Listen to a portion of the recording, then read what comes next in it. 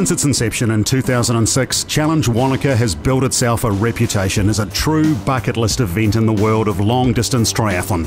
Beautiful, challenging, and welcoming, the event has twice been voted the most scenic triathlon in the world. Now, 12 years on, a new chapter opens for Challenge Wanaka. The pre dawn start and the ultimate challenge of a full distance race remains, but in 2018, the professional race moves to a new half distance format.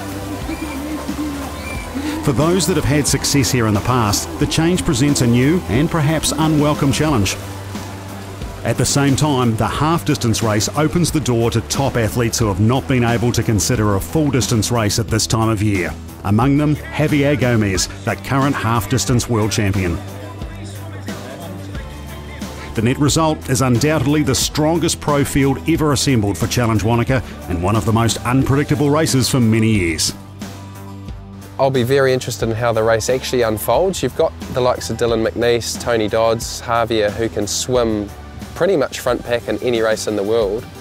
Then you've got the likes of myself and Joe Skipper, Luke McKenzie, who tend to be powerhouses on the bike.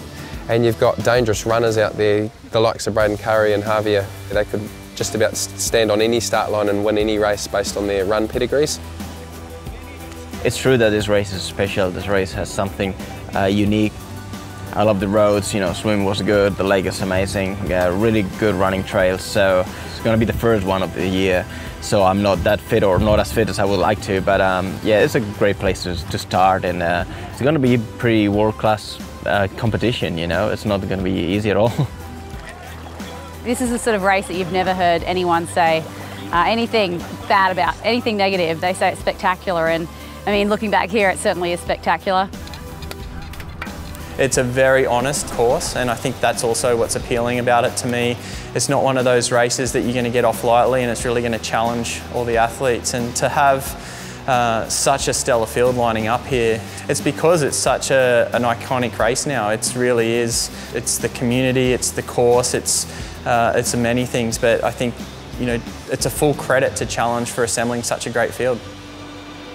Everyone, I guess, has a clean slate at the start of each season and we'll get to see what, what everyone's got.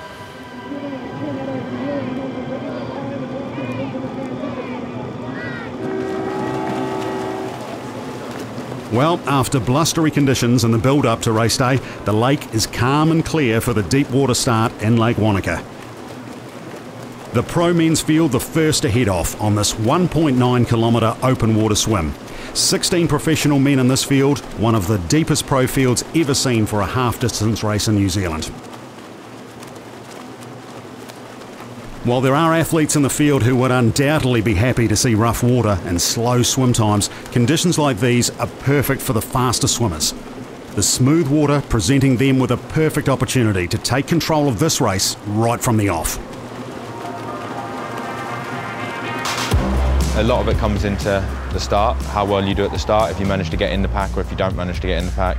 Like I think you're probably going to see Dylan, uh, Javier and Tony Dodds at the front. And I think people like Braden Currie, uh, Luke McKenzie, I'll be hoping that they don't make that front little split of three and I can stay in a group with them, but the speed will be on from the start, you know. And it is a very fast start to the swim. Approaching the first turn, there's a strong group opening up a gap.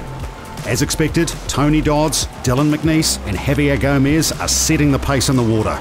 But local favourite Braden Currie's holding on at the back of the group. Gomez knows that with this field, a win here is not going to be easy.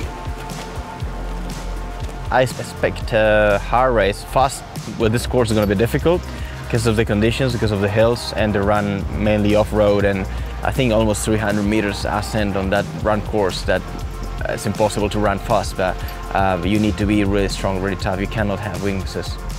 I would rather like more of a faster swim or more like a uh, swimming pool athlete, but um, yeah, it could be anything here. In the women's pro race, New Zealand athlete Rebecca Clarke is setting the pace. Right on her feet is one of the race favourites, Australian Annabel Luxford. The pair are pulling away quickly, leaving the chasers strung out behind. As the swim finish line approaches, a steady rain has set in, and the lead group of six are still together with a lead of over two and a half minutes on the first chasing group. The pace has been fast. Dodds crosses the line first in a new record time 23 minutes 12 seconds. Right behind him, two time Challenge Wanaka champion Dylan McNeice and world champion Javier Gomez. Alex Polizzi's in fourth, Graham O'Grady is fifth, and rounding out that lead group, Braden Currie. The 31 year old Wanaka local is the course record holder here for the half distance and will be a force to be reckoned with today. I think for me personally, I've become a really all-rounded athlete, which you know I'm really proud of. Kona um, Ironman World Champs, I was out of the water in the front five, and uh, on the bike ride, I feel like I can really hold my own now. You know, my performance has definitely been more towards the uh, half distance racing, and uh, speed is normally something that comes to me easier than probably endurance does. So it's always pretty exciting, and it, it just sort of looks like a bit of a sprint distance in a way.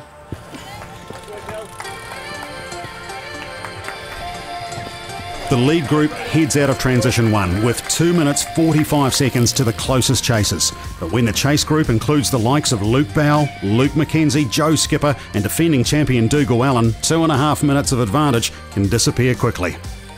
And for the Northern Hemisphere athletes, the difficult conditions could be to their advantage. The tougher the conditions, the better. I'm hoping that it's windy, rainy. I mean, if it wants to snow, that'd be great.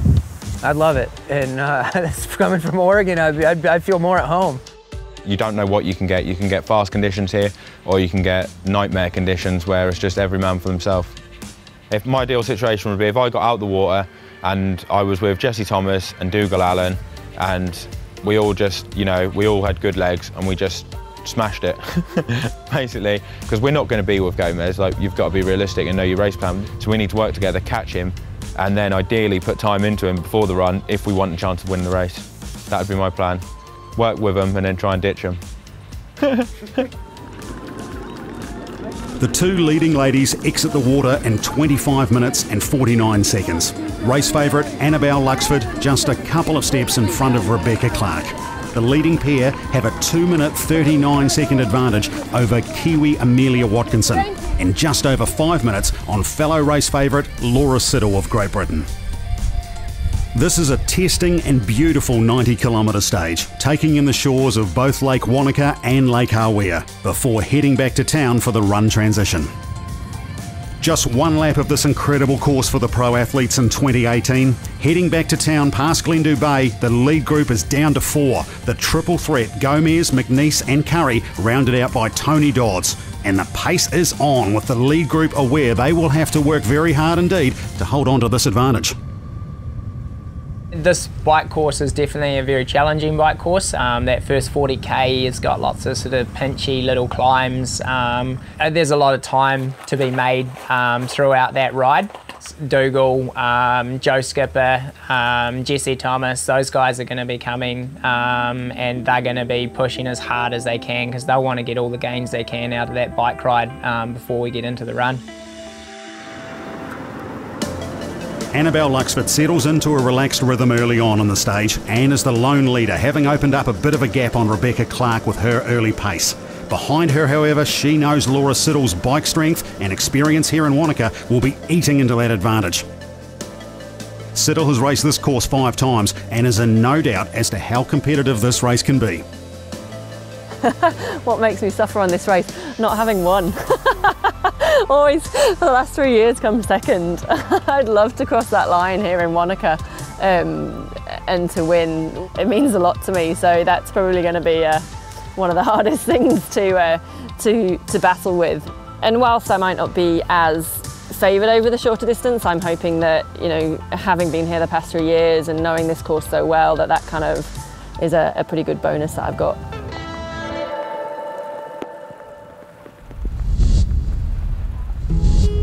For many of the 1,500 athletes here, completing the world's most scenic triathlon is a goal that they've been working towards for months, if not years. Simply making it to the finish line is the achievement, even if your brother is one of the best triathletes in the world.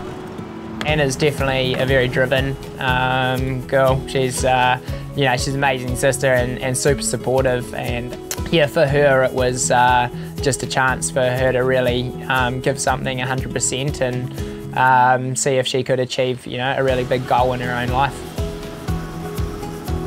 Done the half, and I'm very much about setting um, goals that really make me uncomfortable. I have two kids that um, have a lot to do with races, and I want them to understand that racing is about winning for some people, but it's actually just sometimes about competing against yourself and those goals you set. And I want them growing up never being, um, never letting fear take over them. So I want them to see their mother's fear, and they've very much seen the ups and downs of the last 12 months training. Whether it's 13 hours, whether it's the 17 hours that you're allowed, I, I'm not concerned. I just want to cross that finishing line. In the men's race, a significant chase group is formed and is reeling in time on the lead trio of Gomez, McNeice, and Currie. To be in with a chance of winning this race, they know exactly what they need to be doing. Yeah, I think the bike course is what's really going to set yourself up for a great race here. It's, it's a tough course, and, and with the wind, um, we could really see the times blow out. Um, so you, are going to want to make sure that uh, you're in contention off the bike and the fact that it's such a strength orientated course, uh, it'll take wash a little bit of the speed off it. So I think that might come into my favour a little bit. I feel I feel quite strong uh, at this point of the season. I don't necessarily feel quite as fast yet, um, which is a bit daunting to have guys like Javier coming up because they're going to bring an element of speed. I'm just not going to hold back and I'm, I'm just going to have to hope my legs show up because uh, I'm, I'm the way I see it, no one sits around and waits for me in the swim, so why am I going to um, sit around and wait for anyone else on the bike? And I've been thrashed so many times in the in the water that it's it's my turn to thrash someone back when I get on the bike, and that's honestly the approach I take. Is you know, well done in your swim, but here we go, I'm coming for you, and uh, it's okay if it's really hurting me, because if it's hurting me, then it's obviously really, really hurting some of those athletes behind me. So um, it's just a take no prisoners approach on the bike, and it seems to work. As the chasing men cross the Clutha River, the lead group is in sight. The two minute gap has been pulled back to 10 seconds, and with 20 kilometres to go in the bike stage, the weather has deteriorated, but the race is wide open once again. In just 20 kilometres, the lead group has surrendered a two minute advantage and must pick up the pace again or start losing more time. Joe Skipper, having identified the need to get into transition ahead of Gomez and Currie, continues to drive the pace heading into Wanaka. Against a world champion like Gomez, starting the final run with any advantage will be crucial. As the end of the bike stage approaches, it is still anybody's race.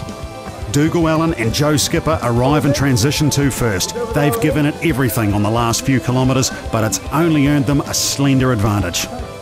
Currie, Jesse Thomas, Luke McKenzie, and Gomez arrive just seconds behind them.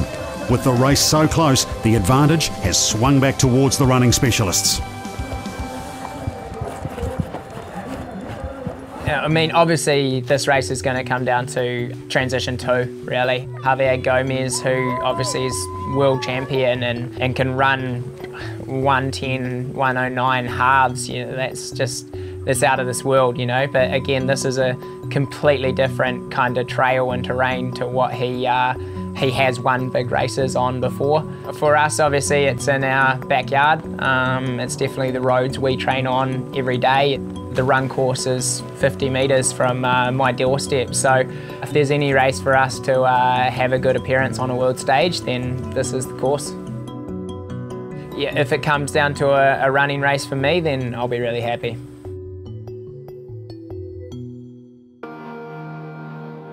For Annabel Luxford, her time at the front of the women's race has run out. With 15 kilometres to go, Laura Siddall moves up to join Luxford. Siddall was five minutes down after the swim, but her strength on the bike is what she's known for, and she has put in a huge shift to bring herself level. Approaching Wanaka Airport on the way back to Transition 2, Siddall passes Luxford and the pressure shifts to the race favourite. The question is, has she got enough in the tank to hold on to Siddall for the final 10 kilometres?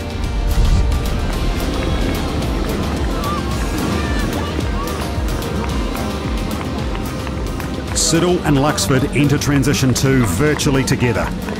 Luxford just a few metres behind Siddall.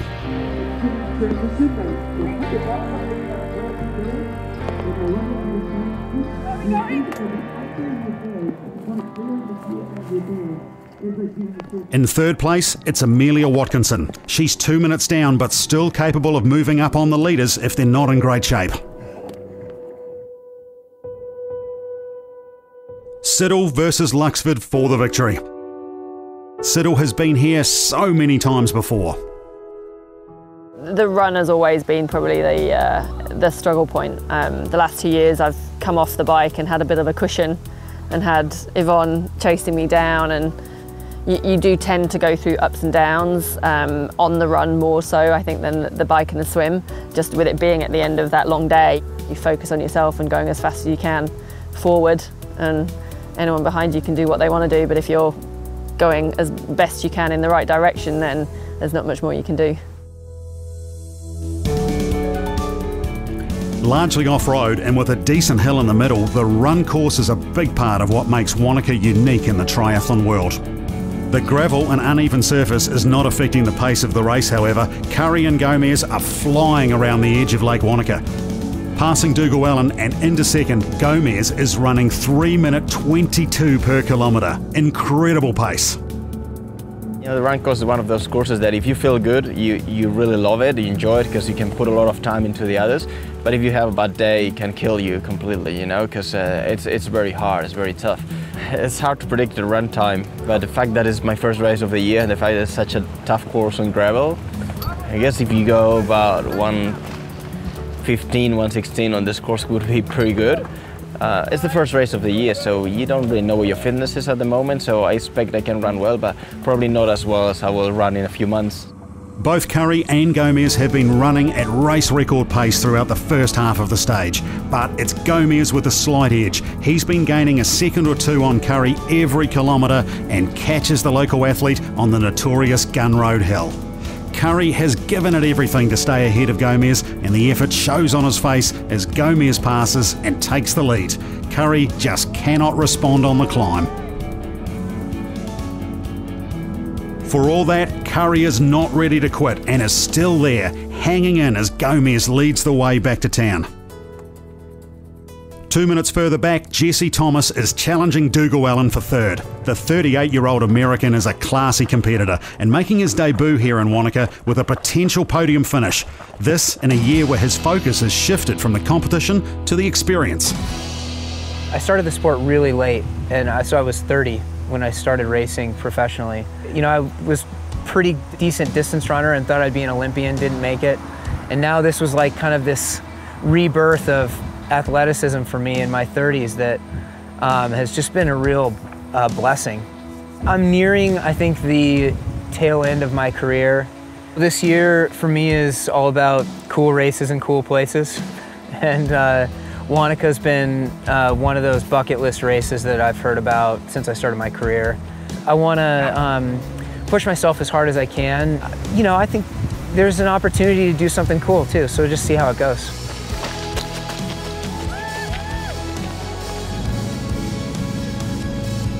For all his grit and determination, Braden Currie just cannot regain the seconds lost to Gomez on Gun Road. As the finish line approaches, Gomez is in complete control and giving no indication that the course or the incredible pace has been a problem. He predicted that 116 would be fast, but as he crosses the finish line, Gomez completes the run in 1 hour 12 minutes. His overall time, 3 hours 57 and 27 seconds, smashing Braden Currie's record from 2012. Currie receives a hero's welcome from the local crowd as he finishes just 17 seconds behind Gomez. A wonderful effort against the current world champion. Jesse Thomas's run does not let him down, and he crosses the line two minutes later to earn himself third place. Past winners over the full distance course, Dylan McNeice and Dougal Allan, finish fourth and fifth respectively. We had a bit of everything, rain, cold, hot, sun, you know, amazing course, uh, really tough course. I really enjoyed it, but I had to give my 100% to, to win today. I think it's the first time I've ever raced Javier, and uh, you know to get to race a guy of his caliber is, um, yeah, you got to be stoked to be there with him and to be within 30 seconds at the end um, is an incredible feeling.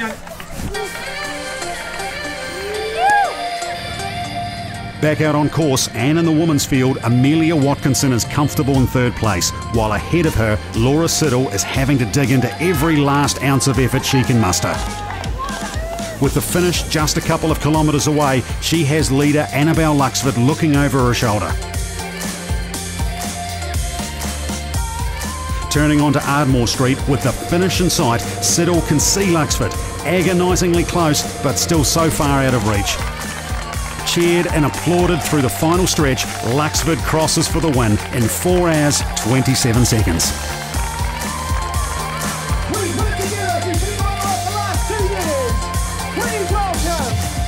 Laura Siddall is just 11 seconds behind, her hopes of winning dashed by the narrowest of margins. The frustration of a fourth second place finish very evident.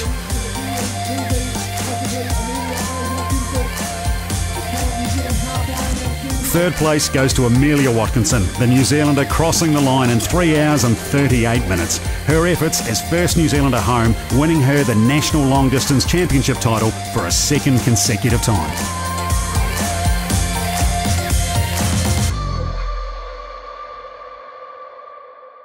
I still felt strong at the end, but I just didn't have that that last little extra bit of speed to to pull her in. And I'm I, I'm sure Annabel's a you know she's a world class athlete over the distance, and I'm pretty sure if I'd have pulled up on her shoulder, she'd have probably had another gear as well. lucky to have a good swim. Uh, and then um, felt quite good on the first half of the bike, and then was losing quite a bit of time to Laura. So um, I don't think I coped with the cold weather particularly well, but I mean it was hard for everyone out there. She definitely brought it back towards the end. Uh, I think that's her Ironman strength showing. So, but I was happy to hold on.